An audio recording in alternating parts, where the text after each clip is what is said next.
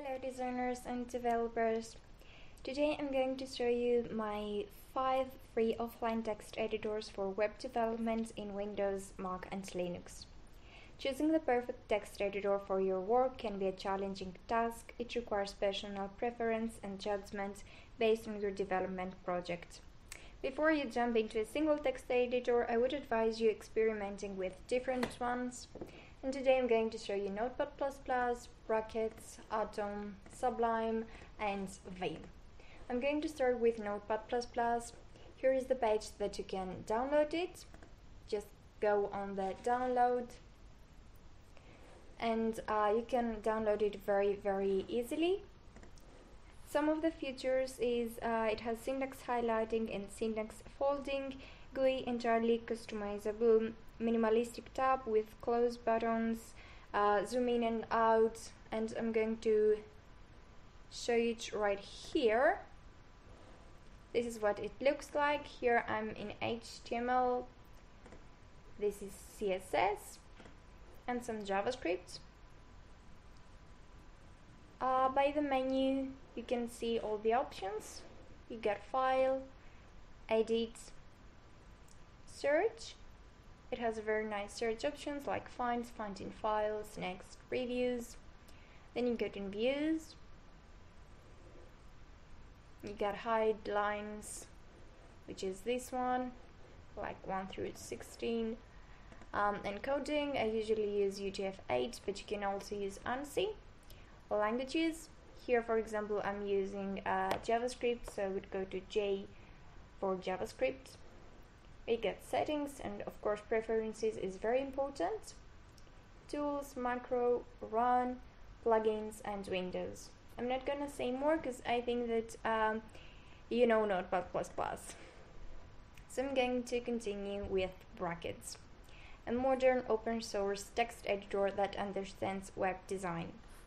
Once again it is very easily uh, to download it. Just click the download button and uh, some of its characteristic is quick edit, focused on visual tools, preprocessor supports, inline editors, live preview, and it's super lightweight. After you download it, it looks like this. Okay, now I'm in HTML and you can see it here. And you get your CSS like this. Uh, again, you have File, Edit, Find, View, Navigate, Debug, and Help.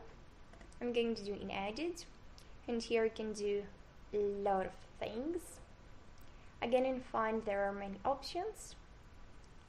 Here is View. I get no split, vertical, horizontal, and some other cool properties. Navigate, like quick open, go to line, quick find definition, jump to definition, debug like so developer tools which is really important.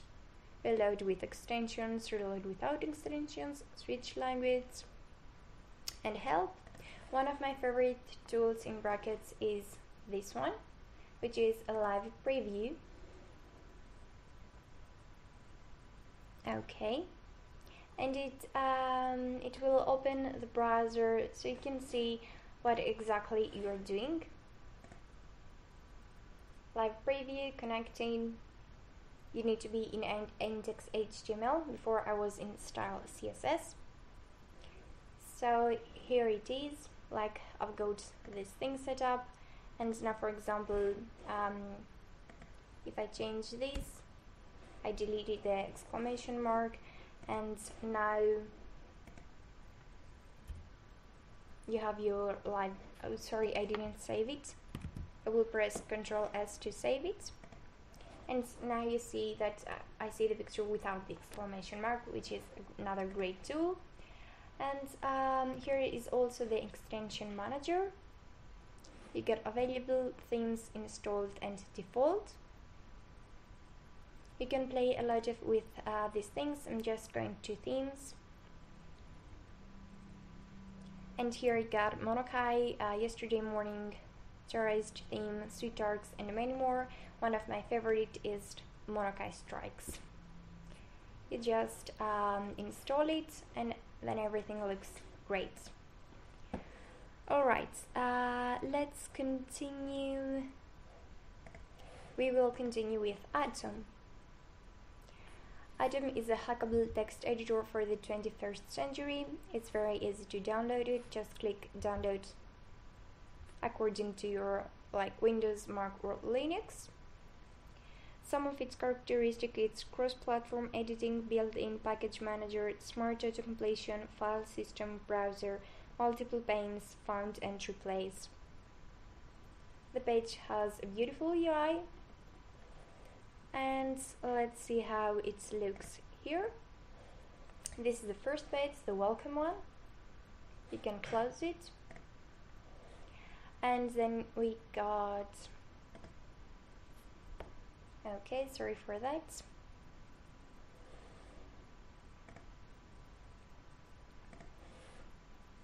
we get index and alert sometimes it can be a little bit slowly because I have opened um, a lot of things.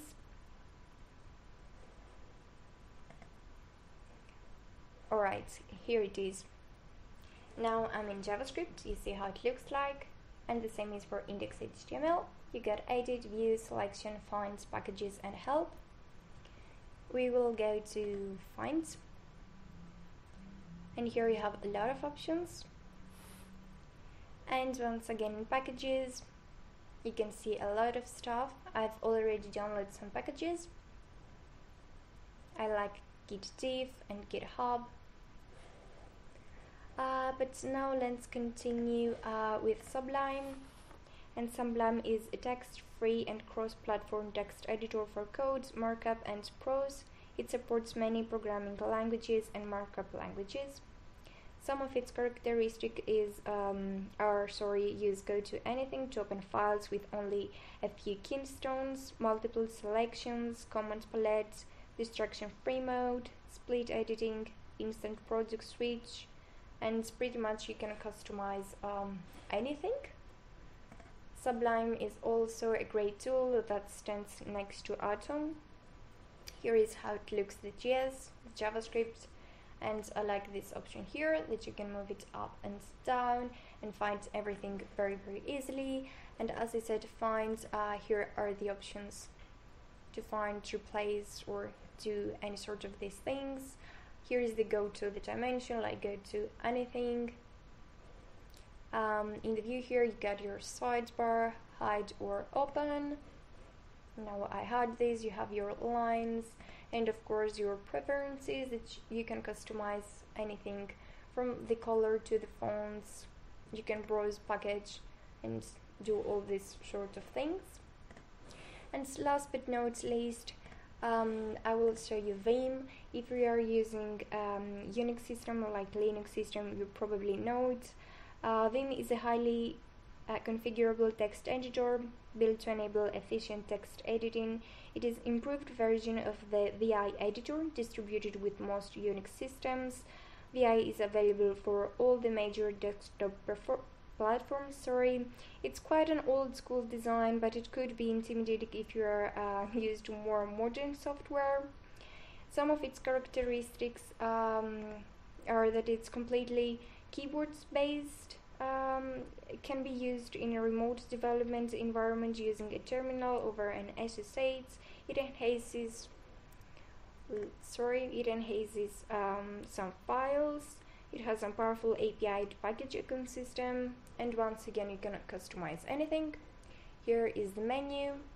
You get your file, edit. Here you can see all the commands, tools, syntax, buffers, windows, and help. Uh, VI is something that you would more probably use in Linux and not that much in Windows or Mac. Um, and that's it guys. Do you have a favorite free text editor? And if you